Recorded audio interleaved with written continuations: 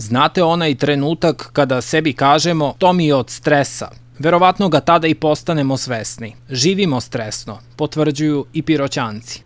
I mi stari, mladi, i deca, svi. Ubrzan život, tempo života. Stresa nisam imao niš, nijedan tako i nema. Različiti su oblici stresova. Zavisi kako šta, nešto zbog para, nešto zbog zdravlja, nešto zbog situacije, zbog takvog nekih događaja. Psiholozi kažu, stres je usko povezan sa krizom i traumom. Stres je nevidljiv i svuda je oko nas, ali njegove posledice mogu biti i tekako vidljive.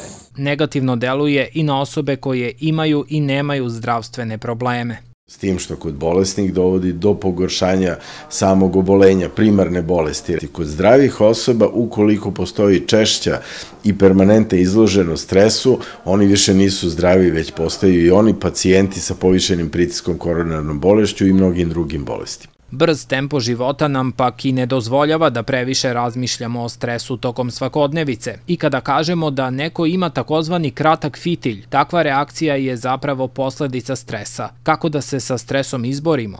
Pa evo ovako kao ja osmehom. Živimo naravno.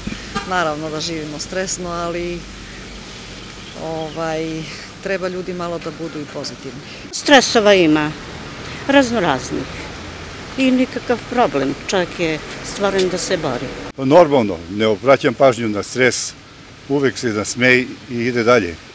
Istraživanje profesorke Mirjane Stanković-Đorđević kojim su bili obuhvaćeni prosvetni radnici pokazalo je da je osobina samoefikasnosti odnosno kompetentnosti ključna za manje stresa, a samostišavanja odnosno odluka da prećutimo okidač za veći stres. Reakcije na stres se objašnjava u psihološkom smislu generalno kod svih kategorija stanovništva uočavaju na emocionalnom, ponašajnom i misaonom nivou. U tim pravcima definišu se i tri načina prevladavanja stresa. Prvi se tiče, znači, razmišljanja, traganja za rešenjem problema.